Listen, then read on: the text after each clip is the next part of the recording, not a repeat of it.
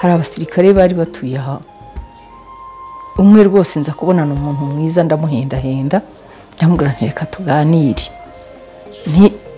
Wankoreye igikorwa cyiza ukazaza twicaye rwose turi kumwe n'abana banjye ubundi ukaza ukaturasa tugapfa neza ntidupfe nabi.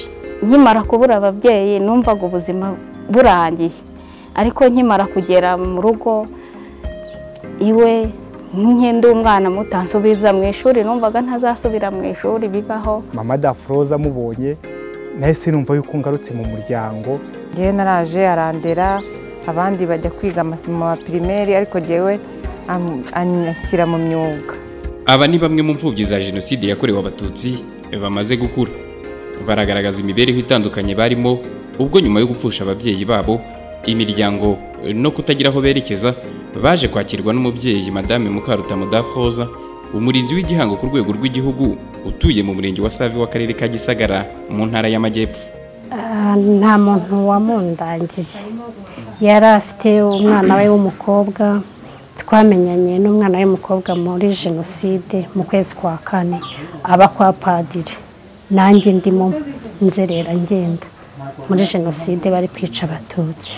Ariko nyuma kuri abagendaga batwirukankana tuza gutatana n'uwo mwana.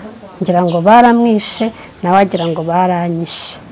Nyuma igihugu kimaze gufata twabaga hano mureti duhura na wa mwana nigendera arampamagara ngo ngwino njye kukwereka mama. Nuko twamenyanye. We uburyo namenyanye n'uriya mubyeyi twamenyanye n'abasirikare bahanzanye bankuye ahantu nabaga ku mugabo witwaga rurangiza.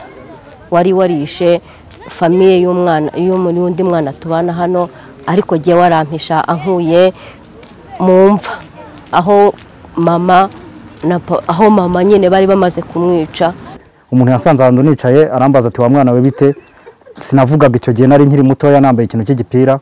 Mbona aramfashe yanjyana ahantu muri biro anshyikiriza uwo mubyeyi. Guhera uwo munsi niyo tariki ni bwo twahereye ko tubana. Hari igikorwa kijya kiba cya buri mwaka buri mu kwa kane uko icyunamo kigeze kuko byagiye bigaragara ko hari abana benshi bagira ibibazo by'ihungabana. Noneho igihe cyo kwibuka kuko abenshi babaga bibana ari imfubyi bagaheranwa n'agahinda. Ni ho rero havuye icyo gitekerezo cyo kugira ngo batubumbire hamwe bajye batuganiriza twisange mu muryango kugira ngo ibyo bibazo by'ihungabana twagendaga duhura na byo bigabanuke.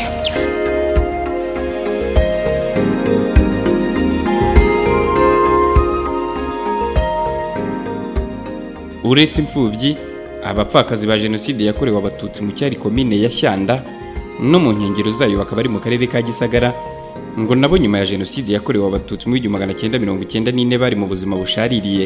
Nta cyizere cyo kubaho bafite.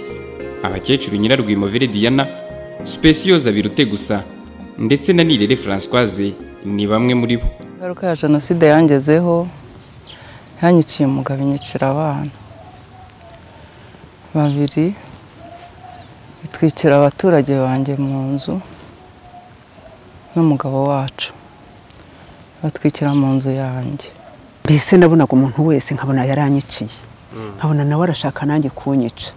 Nkabona nta mahoro mfite muri jye rero jenoside irangiye kubera ibintu bibi byari byarabaye nta muntu wari uzi ko azavugana n'undi.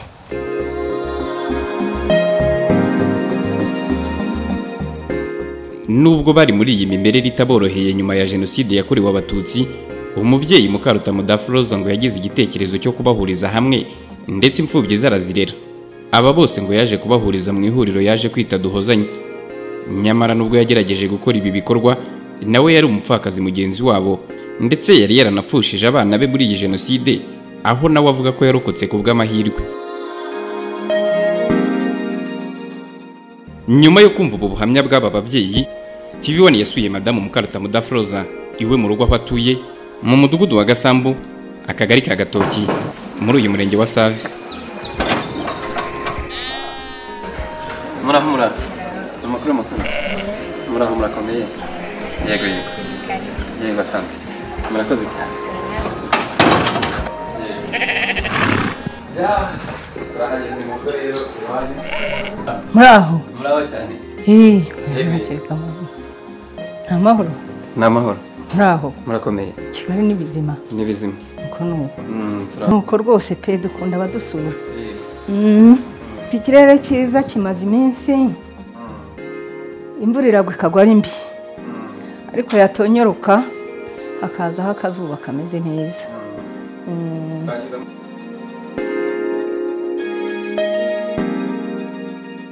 kuba munsi nk'umurinzi w'igihango eh, mu rwego rw'igihugu ni byo muri uyu mwaka ushize eh, nabihawe ku mugaragaro. Mu rwego rw'igihugu koko nyakubahwa perezida wa repubulika ara- arabivuga arabyerekana aradushimira. Nyuma yo kuramukanya no kwibwirana madamu mukarutamu dafroze atangiye abwira tv one uburyo yarokotsemo mbere yo gukora ibindi bikorwa bitandukanye byatumye agirwa umurinzi w'igihango. Ku itariki ya karindwi ari bwo jenoside yatangiye. Jyewe sinari naharaye aho banze aho bagombaga kunyica ntabwo nari naharaye. Nari nagiye ku itariki ya gatandatu. Nari nagiye ngiye mu kazi mu bintu bya nama nari mfitanye n'abantu tugomba kuhahurira ahantu hitwa muri santire iwacu ku kabusunzu. Njyayo nzi ko ndi butahe. Kubera rero ibintu byari bimeze nabi muri icyo gihe bigeza nimugoroba induru zikavuga imodoka nta zari ziriho na zo aho ugiye mu nzira ukagenda baguhagarika basangamo ubwoko bw'abatutsi bakakigukubita mu maso ukabona bibaye bibi. Nahisemo kurara. Kuva ubwo rero mpaguruka iwanjye kuri iyo tariki ya gatandatu n'ubu itariki ya gatandatu iyo igeze ibanziriza jenoside mpita nibuka ni ho umuryango wanjye wamperekeje kugira ngo nzinduke mvaho iwanjye kuko hatari hegereye umuhanda njye gutega imodoka ngenda i kigali. Simenye ko ari bwo bwa nyuma ku mugani wa ya ndirimbo. Baje ku guhiga bica b'iwanjye barabica bara- baragira barasahura barasenya baragira. Naje kuzagaruka mbivuze muri makeya naje kuzagaruka jenoside yararangiye.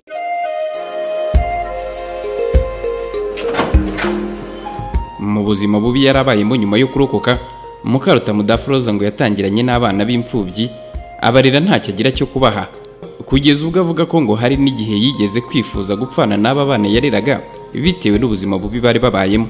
Tukaba mu kizu imbwa zinjiramo uko zibonye aho baririye zikinjira nkafata inkoni nkazikubita nkazirukana nkabona burakeye. Nuko tubana n'abo bana gutyo. Ariko mu mezi ya mbere ageze kuri atanu atandatu twabagaho nabi cyane. Twari turiho nabi cyane.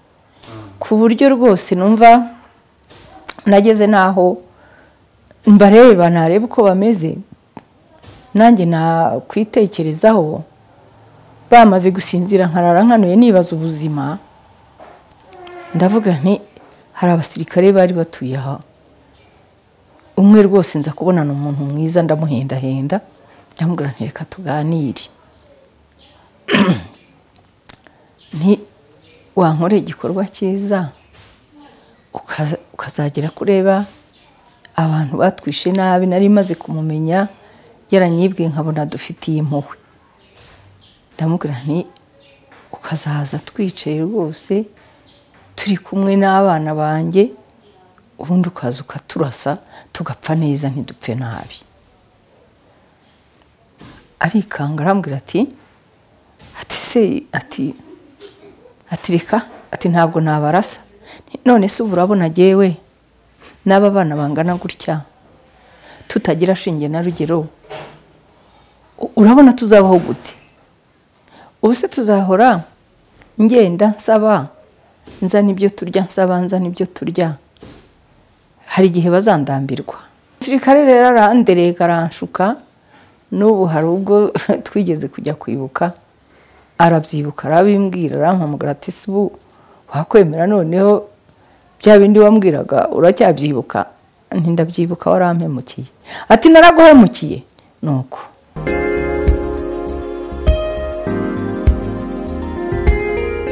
Iyi mimerere mukarutamu dafroza n'abana yareraga ngo bayikomejemo aho yakomeje kujya asaba ibyo kugaburira aba bana ariko kandi ngo nyuma aza gutangira kubona n'abagira neza by'umwihariko abamuhaga ibyo kurya.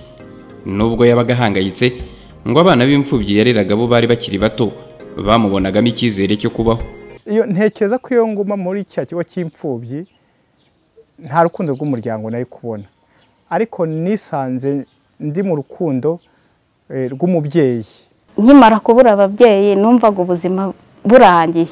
Ariko nkimara kugera mu rugo iwe nk'indi umwana mutansubiza mu ishuri numvaga ntazasubira mu ishuri bibaho. Ansubiza mu ishuri n'abandi bana twabanaga bakajya banadutembereza akatuvana akatujyana ku gisenyi. Ibyo bintu byaranshimishaga nkibaza ibyo bintu rwose adukorera akadusura ku ishuri. Izo ni impinduka zagiye ziba nkumva rwose ni ibintu byiza cyane. Ubuzima bwanjye icyo gihe jenoside ikirangira njye numvaga nta buzima mfite kuko sinarinzi iwacu. Ababyeyi banjye bari barapfuye muri jenoside ariko guhera icyo gihe ah, nabaye nkubonekewe ndongera nsubira mu ishuri ndiga ah, kugera n'iyi saha rwose eh, ubuzima bwanjye bumeze neza.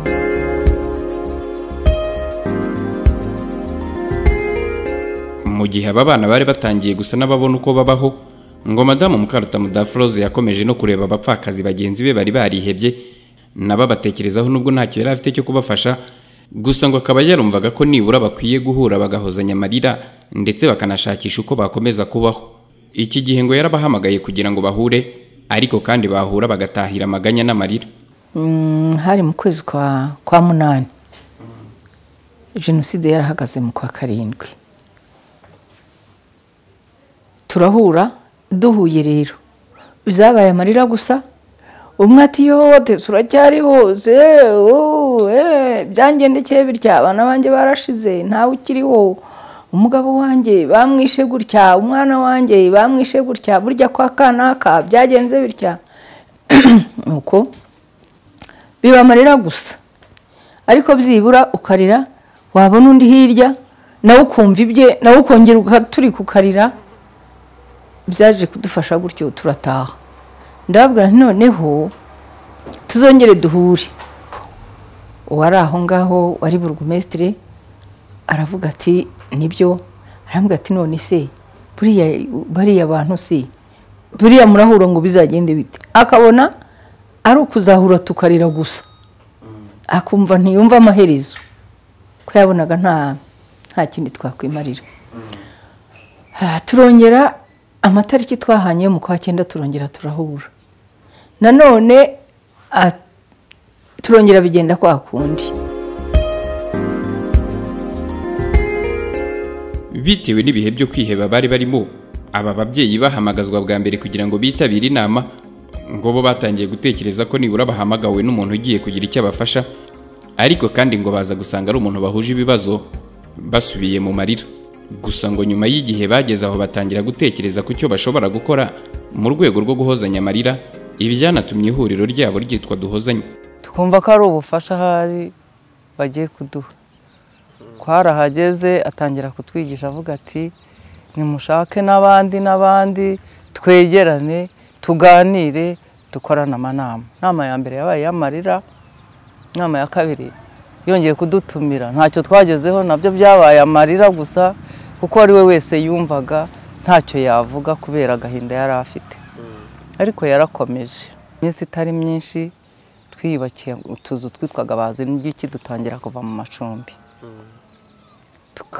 Tukurira tukatwubaka tugasakara n'utwatsi tugasiga umugore yinjiyemo. Abatugezeho uriya mukecuru araza atubera umubyeyi. Mana yatubereye umubyeyi asa nk'udukuye mu rwobo. Igihe nari mu rwobo pe. Numvaga nsa n'uwapfuye ntapfuye. Ariko ahaziye aza kutwegeranya dushakisha aza kutwereka ko tutagomba guheranwa n'agahinda bafite duhozanye ugomba guhozanya twebwe nta wundi uzaduhoza nitwe tuzihozanyiriza. Numva ngo umuntu yahamagaye uri isave yahamagaye abantu b'abapfakazi ngo bazaze bamusange ino isave ubwo rero naje muri abo turaza rero dushyira hamwe aratwegeranya akatuganiriza. Gutyo gutyo bukeye ni bwo atangiye agiye adusabira utuntu eh, tw'inkunga. Bitewe n'amaganya bari bafite nyuma y'iyi jenoside yakorewe abatutsi ngo byaranabagoye cyane kubona izina bita iri huriro ryabo mbere yo kuryemeza nka duhozanye bazana amazina yitwa impirahizi imburamumaro imburiragihugu ba nyagupfa amazina mabi menshi cyane. Yabwa numva rero ayo mazina ni byo murita koko akariho niko dukwiye kwitwa. Ariko noneho reba ukuntu tumaze iminsi duhura tukaganira tukarira ntihagire umuntu uturuka hirya ngo aze aduhoze. Tukaba ari twebwe duceceka tukavuga ngo inama irarangiye tukihoza tukagenda. Ntigenda ndumva twayita duhozanye. Bose rero bati twemeye iryo zina ariko twagombaga kwitwa impezamajyo ibi- i- amazina mabi yose abaho. Uwo munyarwanda yaciye umugani ngo abishyize hamwe imana irabasanga. Nyuma y'igihe gito ngo iri huriro ryaje kubona abaterankunga kuva ku biribwa kugera ku myambaro ndetse ngo ishami ry'umuryango w'abibumbye rishinzwe iterambere PNUD riza no kubaha abakozi bakurikirana ibikorwa by'ihuriro bya buri munsi. Kugira ngo bibyare umusaruro. Nk'uko bukeye ibintu aduha imyenda ibitenge bukeye aduha ibyo bikoresho tumaze kubonera izo nzu kamatora kaduha amasahane amasafuriya n'ibyuma n'imihoro. Ntako atagira nubwo bageze mu zabukuru ababyeyi bibumbiye mu ihuriro duhozanye ryashinzwe na mukarutamu dafroze bavuga ko ngo yabateje imbere kugeza ubwo yanabashishikarije gukorana n'ibigo by'imari hamwe n'amabanki. Kugeza ubu ngo barabitsa kandi bakabikuza. Umukecuru specioza birute gusa umwe muri bo aravuga ko ngo n'agatabo ke ka banki atajya agasiga mu bikorwa bitandukanye ajyamo. Atwereka nuko tugomba gutinyuka ibigo by- by'imari dutangira gufunguza konti. Turabikije. Tubona tubaye abantu. Twabanje kugira iy'itsinda ariko n'ubu buri munyamuryango afite konti ye. Bati reka nkwirike si wagize ngo gena n'agasigase oya ubona kwereka akanjye bwite rwose banifitiye ntubura ikintu cyakugoboka kujya kwa muganga dore. Byose ntacyo ni banki pepere sako dore. Eh, ubwo rero aha hose ni we watugiriye inama ni we watweretse inzira ntacyo atadukoreye mu by'ukuri. Ku rundi ruhande abana b'imfubyi daforoza yareze kuri ubu bamaze kuba bakuru. Nabo bavuga ko ngo ntacyo uyu mubyeyi atabakoreye. Uretse kubafasha kwibeshaho ngo yanabakurikiranye ku mashuri kugeza bashyingiye ndetse abatarashyingira aracyabana n'abiwe mu rugo nk'abana n'umubyeyi. Twarazaga ukagenda ugatanga berete bakareba wagize amanota angahe? Ukajya imbere mukecuru akaguhobera akaguha ibihembo noneho ugasura uvuga ngo nze noneho mfite mirongo cyenda. Ibyo rero byaradufashije bituma tuzamuka kimwe n'abandi bagenzi banjye. Abatari ba- bari abagiye bashyingirwa nanjye sindashyingirwa ndacyari mu rugo uretse ko mfite ibyo nkora nkora nyine nkataha mu rugo nk'umwana mu rugo. Icyizere cyaragarutse icya mbere cyo ryahungabana ryarashize. Ku kijyanye n'ihungabana ubu ngubu ubwo nanjye sigaye mfasha abandi. No muri kominote ubu sigaye ndi muri komite ya ibuka mu rwego rw'akarere bivuze ko usibye n'aba bana bagenzi banjye na ba bakecuru bacu bari hejuru nabo ndabafasha. Nshinzwe kubavugira. Ibibazo byo kwigunga byararangiye kuko nanjye namaze gushinga urugo rwanjye ndubatse. Yego. Akagushyingira abo bana bose ko abakubwiye babaye mu rugo rwe nta n'umwe wabashije kunanirwa kuba yakwiga nta n'umwe wa- washinze urugo ngo ananirwe kumushyingira ari umukobwa ari umuhungu ndetse ni nyuma yaho abo bana iyo tubyaye ni we twereka abana ni we uduhemba. Ubu ndubatse mfite umugabo n'umwana umwe. Mfite n'akazi ndi sekereteri ahantu ku kigo cy'amashuri. Ngewe naraje arandera abandi bajya kwiga amasomo ya pirimeri ariko ngewe anshyira mu myuga. Ubwo naje no gushaka ndi umumama ndubatse mfite umugabo n'abana kandi urugo rumeze neza abana nabo bari mu mashuri ya segonderi bameze neza.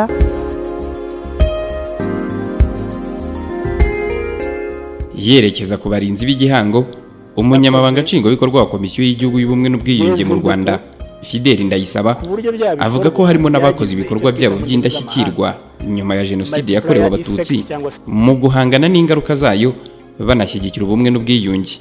Hiyongeraho yuko ibikorwa yakoze byeza imbuto ku buryo bya bikorwa byagize icyo twita mu ndimi z'amahanga multiplier effect cyangwa se effet multiplicateur. Niko kwera imbuto. No mu guhangana n'ingaruka za jenoside yakorewe abatutsi nyuma ya jenoside birumvikana. Ibyo bikaba byagaragarira no muri ibi bihe bikomeza uko abantu bagenda eh, bafasha abanyarwanda eh, guhangana n'ingaruka z'amacakubiri na jenoside yakorewe abatutsi. Ibitangazwa na komisiyo y'igihugu y'ubumwe n'ubwiyunge ni na byo byanakozwe na madamu mukarutamu dafroze kugeza ubu abapfakazi ba jenoside yakorewe abatutsi yahurije hamwe banamushimira ko yabafashije mu bikorwa by'ubumwe n'ubwiyunge n'ababahemukiye. Bavuga ko yabatuye umutwaro bari bikoreye kuri ubu ngo bakaba bafitanye imishyikirano myiza. Noneho na ba bandi bafunze akabakorera inama n'abiciwe twese ariko turi kumwe. Atari ukuvuga ngo hari uwo yihugikanaga wenyine. Twakoraga inama muri rusange. Icyiza hano hagiye anadukorera nta muntu n'umwe udafite aho aba. Ubundi mbere imvura yarakunyagiraga yakunyagiraga ukavuga uti si ukuntu bariya abantu ari bo basenyeye ariko ubu ngubu umukecuru wacu rwose yaratwubakiye. Nta kibazo ntibavuga ngo imvura iragura anyagirwa reka da ntese wagira umutima mubi gute kandi utanyagirwa? Njye ndibuka mu bihe byashize umuntu yarafunguwe nza gucikisha urugi ari umufundi. Kandi ni we wagize uruhare mu gutwika gutwikira abantu iwanjye. Ariko ubu nitwa mama. Haraza rwa rugero arunterera amarangera ngo arankubita ya nyundo. Araruntereye rwose. N'ubu ni umuntu mpamagara akaza aka- akamfasha. Yaraduhagurukije atujyana i bugande mu ngendo shuri. Yaratujyanye ahantu mu mutara tujye kureba ibyiza byaho. Yatujyanye nyakizu yatanze nk'abaduhaye izindi nyagatare yaho mu mutara. Ntaho tutageze yatugejeje ku rusumo. Tujya kureba akagera umva ibyo byose byaduhaye icyizere byaduhaye kwiyubaka byaduhaye gukomera. Ni ukuri kandi sinkubeshya. Ubundi iyo twakoraga nk'itsinda ryacu ku giti cyacu iyo twahitaga ngo dore bariya nyine ngo nta barokotse n'ibiki ugasanga nyine ibyo harimo urwikekwe. Ariko aho duhurije hamwe ngaho duhurije imbaraga mu gukora dukorana ibikorwa byo kwiteza imbere byatumye tugenda tutinyukana turamenyerana inkunga yaza ikaza itareba ngo uyu ni uwacitse ku icumu ngo uyu ni uwiciwe twese tugafata inkunga kimwe muri uko kwiteza imbere. Baba imfubyi za jenoside yakorewe abatutsi yareze baba abapfakazi yafashije ngo bitewe n'ukuntu bamwubaha kugeza ubu bamwita mama cyangwa mukecuru ku buryo binagaragara nk'ibibabangamiye iyo hagize undi muntu umuhamagara mu mazina ye bwite. Abana twabyaye bamwita mama mukuru. Ariko twebwe tumwita mama. N'iryo zina muba muvuga ngo dafroze twe ntiturizi. No kurivuga mba numva nyine wacu kubera ko ntacyo atadukoreye. Wese umuntu w'umubyeyi wawe wamwita nde? Wavuga se ngo runaka runaka? Ni no kumusuzugura cyane ntabwo wabivuga. Wagira ngo ntitunarizi iryo ngiryo ni umukecuru. Tuba twumva twishimye twi- twumva twabo turi kumwe n'umubyeyi wacu. Twumva ahubwo twabonye data na mama turi kumwe nabo. Ni uguteta. Cyakora umuntu wise duhozanye niduhozanye kuko iyo tugeze ahangaha nta kindi dukora uretse guteta tukibagirwa aho twa imiruho twagiyemo tukibagirwa ibibazo twahuye na byo ahubwo tukumva turi mu ijuru turi muri paradizo hahandi ujya wumva. Mu byo avuga ko yishimira madamu mukarutamu dafroze avuga ko ngo harimo kuba abana yareze. Baragiye bitwara neza kugera bashyingiye ndetse ngo ibyishimo bikaba bimusaga. Iyo bamutunguye bagahurira ahantu hamwe. Abakobwa ndabashyingira n'abahungu na kandi nabo narabashyingiye ubu haracyari batoya nk'abangahe batarashaka ariko nabo kandi basa nabo igihe nikigera nabo nzabashyingira iyo turi kumwe ndishima cyane. Nabo kandi ntabwo bigeze bangaragariza ko ntari umubyeyi wabakuye mu nda. Banyibonamo. Banyibonamo bakateta bakishima. Mm, icyo mbonye nanjye nkabaha nkabavugisha mbese nk'umubyeyi n'umwana we. Nk'ubu ejo bundi babivuganye ntanabizi najya kubona nkabona araje bakampisha najya kubona nkabona bose baraha bizaniye ibyuma bizaniye iki? Baraza bose barakubita baruzura ababyaye n'abana babo barabazana. Ubuyobozi mu murenge wa save mu karere ka gisagara ari naho dafroze atuye bwo buvuga ko ibyo yakoze ari ubutwari ndetse ko byari bikwiye ko agirwa umurinzi w'igihango ku rwego rw'igihugu. Umunyamabanga nshingwabikorwa w'uyu murenge david muhire ntiyamira avuga ko uyu mubyeyi ngo anakomeje kubafasha by'umwihariko muri gahunda z'ubumwe n'ubwiyunge. Uriya dafroza mukarutamu nawe yari umwe muri abo ngabo. Yari umwe muri abapfakazi ba jenoside. Ah, ndetse hamwe no kuba yarabuze umugabo yabuze n'abana. Yabuze n'abana. Ah, ariko rero buriya iyo abantu baba ari benshi harimo ugira ubutwari akavuga ati reka mpaguruke ngire ubutwari mfashe bagenzi banjye dufatane urunana turebe yuko hari icyo twaza kugeraho. Hari n'abakubwira ko bapfakaza ubwabo. Bihaga umuganda yewe n'abagore bakurira inzu. Ufite igiti akakizana urira inzu akayurira bakiyubakira n'abaturage bakabaha imiganda. Uyu munsi umurenge wa savi ntabwo tukibona imibiri itarashyingurwa hirya no hino.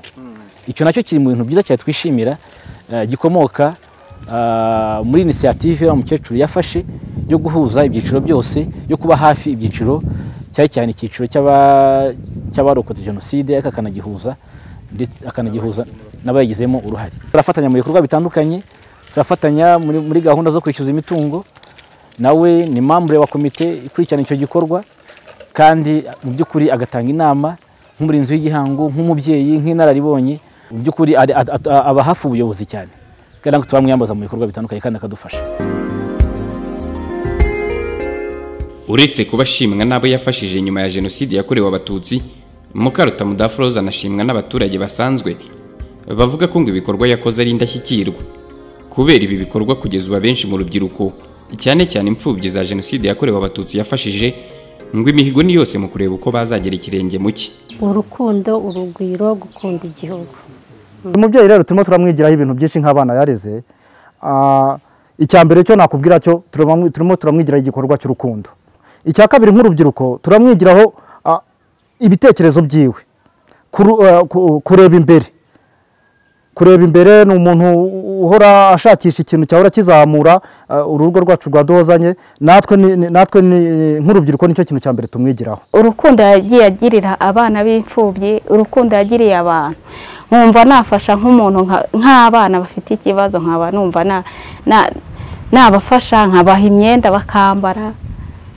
Mba numva nanatanga n'amafaranga ya mituweli nk'uko nanjye na- nabashije kubona mituweli njya nanabigerageza kubikora nkagira nk'abantu ntangira mituweli yatureze turi abana benshi numva nanjye nazagera ikirenge mu cye njyewe ikintu namwigiyeho cya mbere ni kugira neza kandi ntarobanuye ku butoni.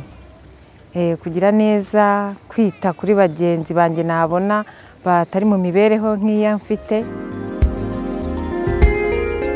Kugeza ubu ihuriro duhozanye ryashinzwe na madamu mukarutamu dafroza rigeze ku rwego rushimishije. Mu bikorwa bitandukanye bibarirwa mu mamiliyoni n'amamiliyoni ubihaye agaciro mu mafaranga ibikorwa bigizwe n'amazu ibikoresho ubutaka n'ibindi dore ko kuri ubu ihuriro duhozanye ari naryo rifite isoko ryo gucuruza ibinyobwa byose bya burarirwa mu karere ka gisagara ubucuruzi abanyamuryango baduhozanye bavuga ko ngo inyungu ivamo ikomeza kubafasha mu buzima bwabo bwa buri munsi by'umwihariko abageze mu zabukuru. Uretse ubu bucuruzi kandi duhozanye ifite ubutaka butandukanye buhingwamo ibihingwa ngengabukungu na ngandurarugo biteza imbere iri huriro n'abarigize.